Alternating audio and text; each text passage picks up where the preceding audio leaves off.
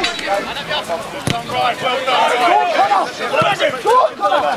Time, good time! Squeeze out! Get football bomb round. Get in front, rush on, rush on the ball.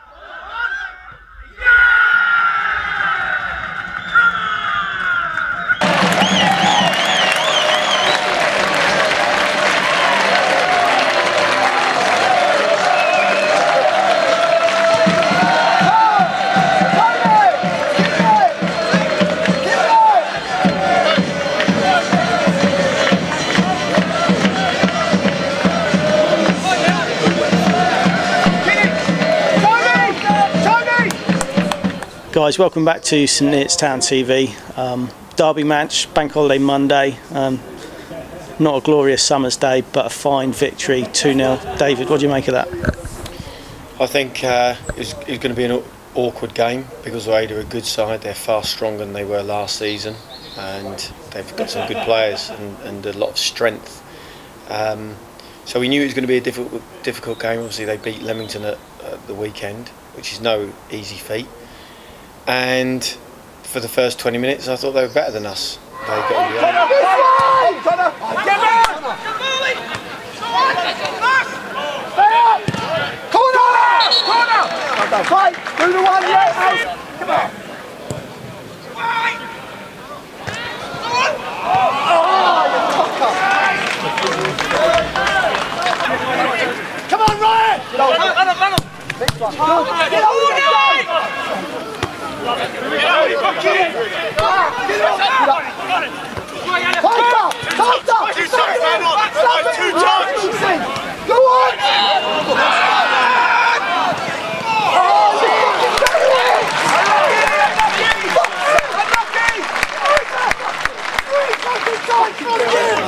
They got in behind us more um, and they looked more dangerous.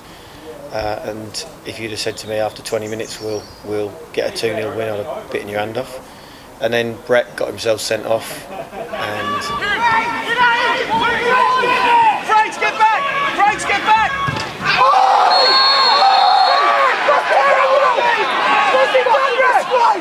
Got that in the window. Got that. Easy on. Fucking awful tackle. Yes! Fucking dirty bastard.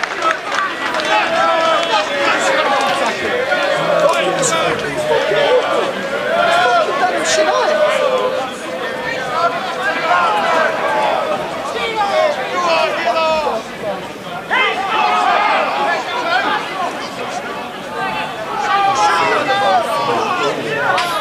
and at that time if you'd have said to me I'll take take a draw, I'd have bitten your hand off.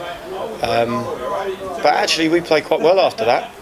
I thought we were the better side for the second half. Literally, as soon as Brett was sent off, and we went down to 10 men. I thought we were the better side. And I thought second half, we were very professional. Connor, when you're in a match like that and it's and it's obvious that the opposition have got off to a flyer, um, what goes through your mind? Do you do you sort of think, crikey, we're going to get anything out of this today, or do you just settle in and, and do your thing? No, you just got to look at it as a team perspective and uh, just get everyone tight, everyone behind the ball, and main thing, get people doing their jobs. Try and stick to method, um, but we've got to try and stay compact really when when the going gets tough, and when we can, when we get a chance to get it in behind, get it in behind with quality, and then get regained and try and keep it down in their final third. So, the red card of Brett was that a turning point in the game today? Because we did seem a bit more inspired after that, didn't we? And it's funny how that always seems to go like that, doesn't it? Uh, yeah, but not normally so early in a game. Um, I think there was I think there was two turning points in the game. One was when Brett got sent off, and it changed the, the flow of the game straight away. We obviously changed our shape, and for one one reason or another, got better at doing the things that we were hoping to do from the start, and caused them more problems. Scored a goal, and then kind of five ten minutes or whatever it was before half time. When uh, Ryan has got himself sent off for Biggleswade, that changed it.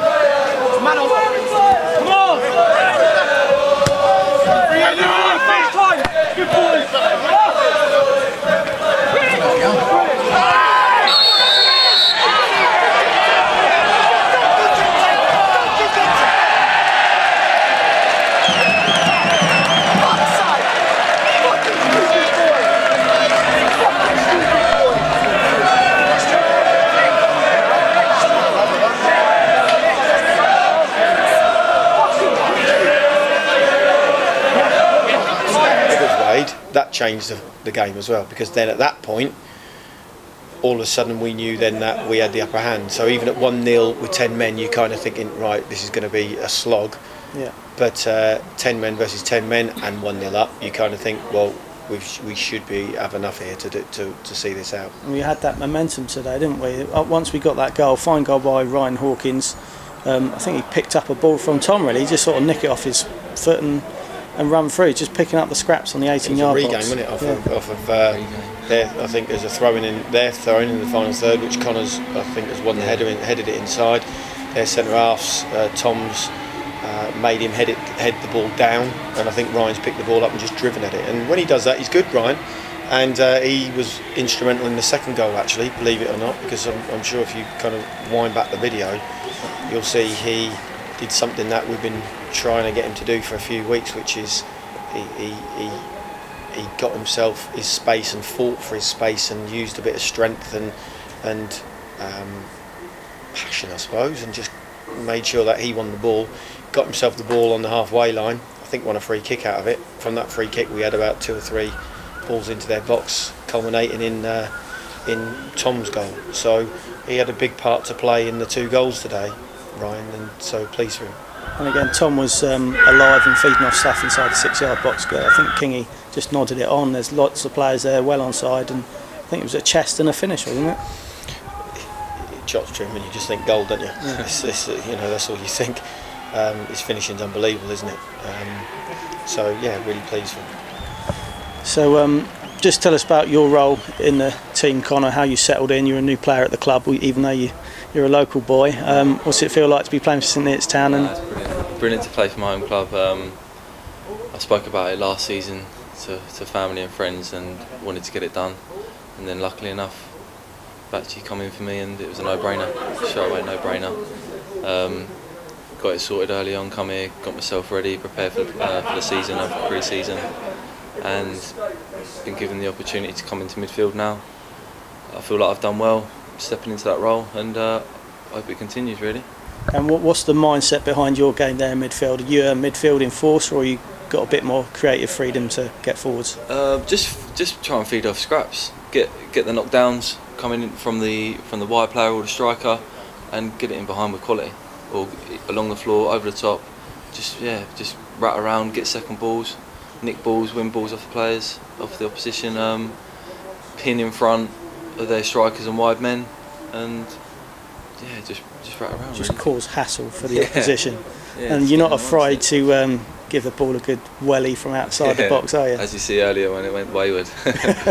Well, it went out for a corner, didn't it, that one? Is that a long It shot? It went out for a corner, and you were really keen to Oh, tell yeah. everyone that you couldn't have passed it wide. yeah, because I know I was going to get yeah, yeah, rollicking from yeah. the But they, sideline. they- actually, there weren't anyone wide No. that time, so we weren't going to. The second one I won about second half Oh, when, it's dropped to me and it's gone well wide I think. So um, moving on now. Oh, sorry, no. Let's have cast our minds back to Weymouth. You've mentioned it already. Um, a one-one draw we conceded late on, um, but a point on the road is that a good result?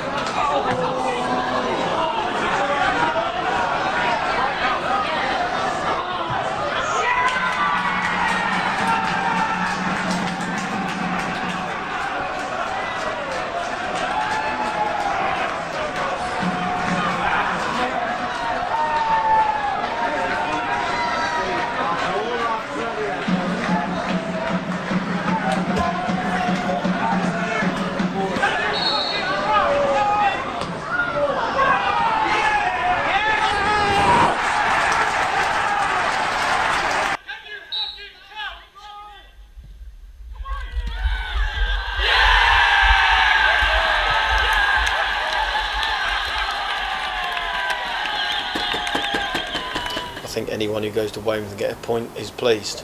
Um, difficult place to go, in particular for the sides at this end of the country because it's obviously quite a journey. And uh, they're a good side, and they'll, they, you know, by rights they should be up there. You know, they've been used to playing in the conference for a few seasons the, in recent history, and they they should be sniffing in around the playoffs as they were last season. Um, so to go there and get a point is you take all day. Um, were we pleased with the point? Yes. Could we have got three? Probably. If we'd have done one thing a little bit better. And uh, but you know that happens in football sometimes. You know we're not always going to win every point we, we get, and we're going to uh, we earn. Sorry, and um, we're also going to have it the other way. We're not going to earn deserved points, and we're going to pick some up sometimes. So you know that it really does even itself out over the course of the season. So, um, but a point is is pleasing, and we said after the game, you turn it into a great point if you go and get three today, and the fellas have gone and done that.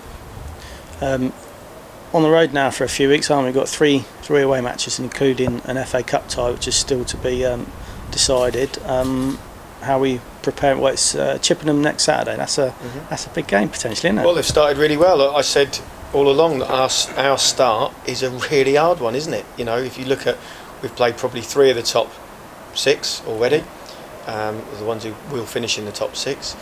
We've uh, got the longest away trip of the season done, yeah. um, and we've now got a couple of league away games. One is against Chippenham, who've started off well and they're flying, they're top of the league. And then the next one's Hungerford, who were in the playoffs last season. And, and last season they were the best organised side we'd played, I thought. So, difficult start. And But I said to Chem, you know, if we're kind of eighth, ninth, top eight, nine in uh, after a couple of months, no problem. You don't win nothing, you don't win anything now. We learnt that last season. We were about 10th on New Year's Day and we ended up fifth in the league. So we, we just need to be at Christmas within touching distance or there or thereabouts. And then uh, after Christmas is when you have to turn it on. Yeah you see this season in little chunks, don't you? You know, there's there's batches of games coming up, and um, we've certainly got a run now on the road. And is the FA Cup a welcome distraction amongst you know this busy start to the league? I wouldn't say it's a welcome distraction. It's, ju- it's another game to go Yeah. to go and have. You know, you just have to go and perform as well as you can. The being honest, the, you know, we're not going to win the FA Cup, so you just go and take what you get, don't you? You, you know, if you play, if you perform and you get a result, and then you find yourself in the next round, all of a sudden you do that two or three times, you get kind of get everyone gets a little bit excited about a nice little tie. Um, at home, that's what happens, but you're not going to win it, and it's, it's, it's kind of a bit naive to think that it's uh, it's the chance of you know a real glory trail Mm. because that only happens to three or four clubs. Um, so we'll take what we can. We'll try and win every game. Um, uh, my, my lad said to me on the way over today, "Is, is today a must-win game?" And I said, "Every every game's a must-win game. That's what it is. That's Mm. football. That's what it's like in the results business. You have to win." Um, but you're not going to every time. We just need to. We just hopefully we'll go there and get a result and and then see what pops up in the next round. Excellent, good stuff, Dave. Catch you uh, next Cheers. time. Dance Sport at home. Thanks.